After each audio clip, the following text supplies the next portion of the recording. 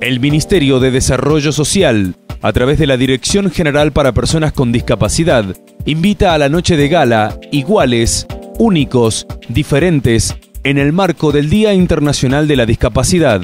El evento se llevará a cabo en el nuevo Teatro Provincial Víctor María Cáceres el 3 de diciembre a las 20 horas con entrada libre y gratuita. Incluir multiplica. Dirección General para Personas con Discapacidad. Ministerio de Desarrollo Social, Gobierno del Pueblo de La Rioja. Estamos cambiando el presente.